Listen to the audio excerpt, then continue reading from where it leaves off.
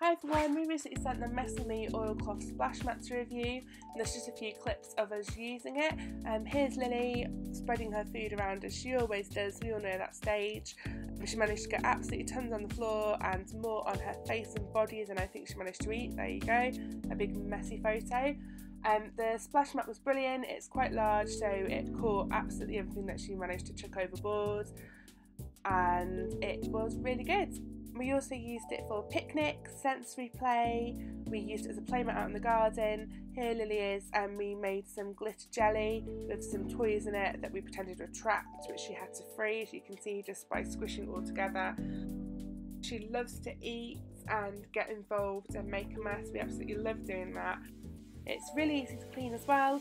Um, I either get a baby wipe on it just to get up a few small bits, or if we've done something messy like this, I'll hang it up on the washing line, get some soapy water and give it a little bit of a wash. Only takes a couple of seconds, maybe a minute or so, and leave it to dry until the next time we decide to use it, which is probably in about an hour or two's time for the next meal.